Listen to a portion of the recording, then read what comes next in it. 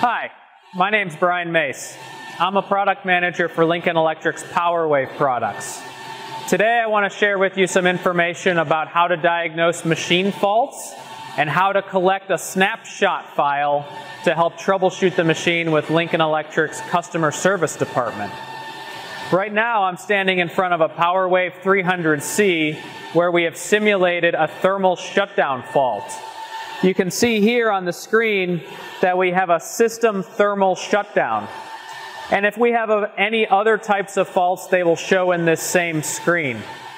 You can then take this information and share it with the Lincoln Electric Customer Service Department, or you can send them the snapshot file that can be saved via a USB drive or through PowerWave Manager. Let's walk over to an R450 PowerWave and I'll show you how to read the LED blink codes out of that machine. Over here on the R450 we have to rely on LED blink codes to understand what the error or fault code is. So down here on the bottom we see the status LED is blinking red.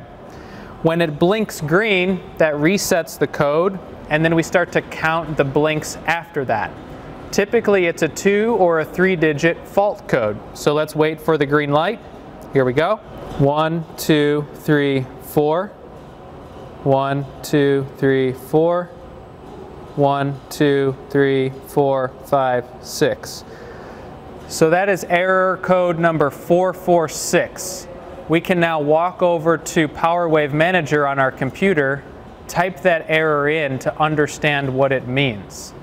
This style of blinking fault code applies to the PowerWave R450, S500, and S700 platform.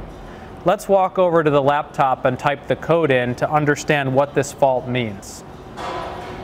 To understand the fault codes and to collect a snapshot through PowerWave Manager, you're going to start the PowerWave Manager application on your computer and connect to the machine.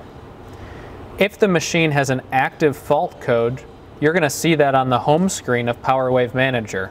And we can see that the latest events are here. So this is error 446, cooler object not found. And this is a latched error. We can also look up an error manually from the LED blink codes that I shared previously.